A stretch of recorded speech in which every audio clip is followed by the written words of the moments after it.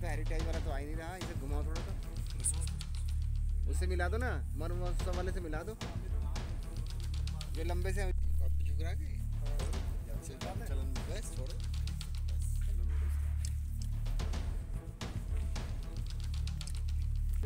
One विभाग उत्तर प्रदेश द्वारा जो है, वन महोत्सव का शुभारंभ आदरणीय स्वामी आनंद महाराज जी से द्वारा कराया गया।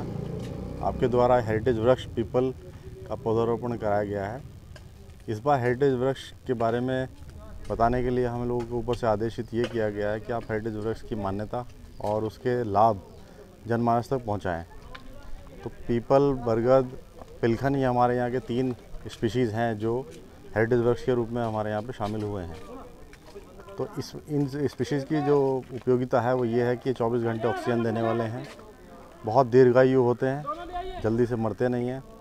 बरगद आप देखें तो उसकी जड़ें नीचे छू जाती हैं, वहाँ से दूसरा पेड़ शुरू हो जाता है। तो ये प्रक्रिया निरंतर चलती रहती है।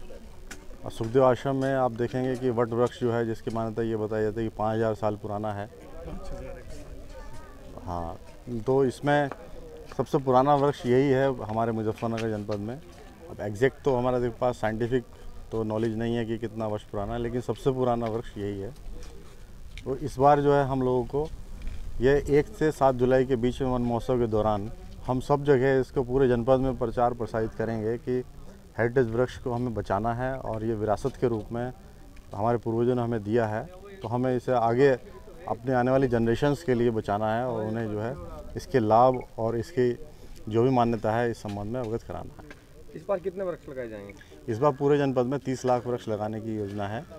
जो शासनादेश है, ऊपर से यही है। और चार तारीख, चार जुलाई को वृहद रूप से वृक्षारोपण होगा पूरे यूपी में, जिसमें 25 करोड़ वृक्षारोपण एक दिन में होगा, बाकी पाँच करोड़ वृक्षारोपण पूरे माह जुलाई में होगा।